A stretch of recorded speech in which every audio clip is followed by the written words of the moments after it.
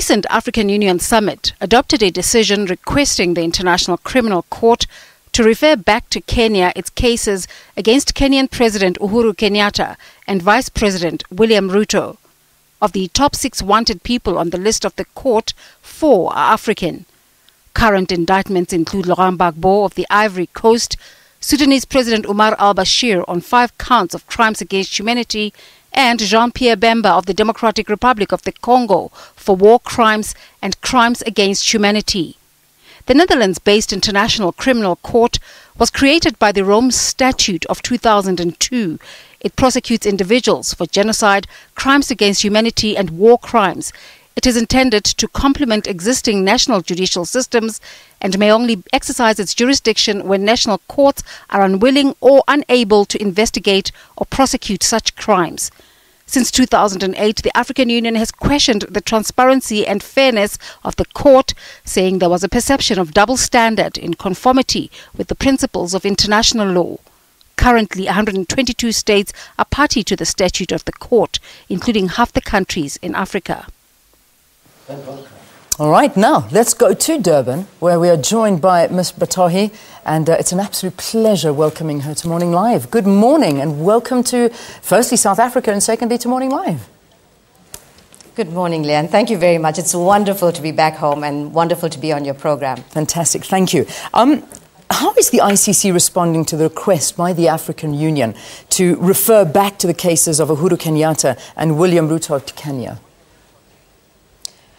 Well, the situation in Kenya is that the cases are before the court, and we have to allow the legal process to take its course. So the ICC is dealing with its mandate to uh, deal with the cases, and um, the, the situation is that, yes, all of our cases are in Africa. We are dealing with eight situations, and they are all in Africa. Mm. And, and the court has, in fact, come in for a lot of criticism for the fact that all of our situations are in Africa.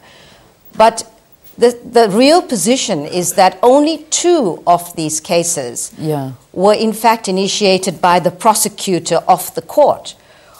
All the other situations were calls by the African countries or the Security Council for the ICC to get involved in these cases. So it's, it's unfair for the court to be criticized for the fact that all of our cases are in Africa, when in fact only two of them were brought about by the initiative of the prosecutor. Yeah. yeah. I mean, when you look at, you look at how people refer to to the ICC, sometimes it's, you know, it's re- referred to as the ICC Africa problem. You know, how, how do we get rid of this perception? Well, this, the, the real issue is the fact that I think we all want the same thing whether it's the African Union, uh, whether it's the ordinary people of Africa, whether it's the International Criminal Court, we all want peace in Africa. We all want stability in Africa. We all want a respect for democratic values. We all want justice for the victims, for the millions of victims in Africa. And the reality is that each one of, it, of us can't deal with it on our own. We need to work together the African Union, uh, the people of Africa, civil society, the court, to try to ensure that we do try to end impunity and that we bring justice to the millions of victims in Africa and in other parts of the world.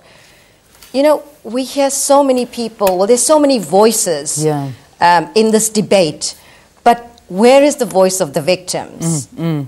And all my life as a prosecutor, I have fought for victims in South Africa. Yeah. And, and now I will continue to do that wherever in the world we find victims of horrendous crimes. Yeah. How, how, relevant is the ICC in peacetime? I mean, when countries are developing their own justice systems um, and, and, want to protect their sovereignty?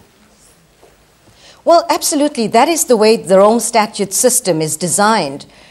If countries can deal with these problems, if they can deal with these issues, if they can hold people accountable, if they can bring justice to victims within the national systems, that is perfect. In fact, that is the way the system is designed, because the ICC will only step in if countries fail to take on their primary responsibility to deal with these crimes in their own countries.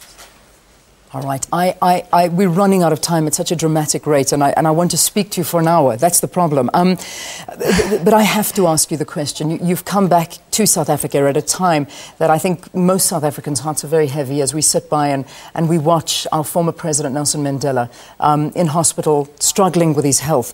Um, you worked with him at around 1995 regarding hit squads in KwaZulu Natal you know, tell us about your interactions with him and, and, and of course, your immediate thoughts of, of, of him right now. Um, I had the pleasure and absolute pleasure of dealing with President Mandela way back in 1995 when he set up the international, sorry, the investigation task force to look into hit squad activities in my province. And um, I had the opportunity um, to meet with President Mandela in his house in Houghton, together with other members of our team, to brief him on the investigations at the time. And what really struck me was his determination to get down to the bottom of what happened during the apartheid years in terms of the atrocities that were committed. But also, what, what really struck me was his humility and his genuine sense of humanity. And I think it taught me that no matter who you are and what job you do in the world, that at the end of the day, you need to remain very grounded and in touch with the people. And I think it was a very, very uh, humbling experience to have met him, and he was the president at the time. Yeah. And, yeah. and I will always treasure that memory. Yeah. It's been an absolute pleasure having you on the program, and I'm so sorry to cut the interview short, but even just to, to have you here and talking to us has been an absolute privilege. Uh, Shamila Batohi is the senior legal advisor to the prosecutor with the ICC. Thank you so much for joining us and enjoy your stay in South Africa. Thank you very much for having me.